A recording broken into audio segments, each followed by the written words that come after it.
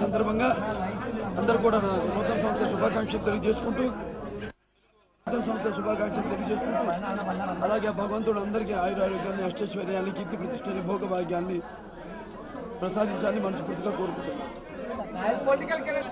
ఇక తిరిగి వెళ్ళిగా కోరుకుంటున్నాను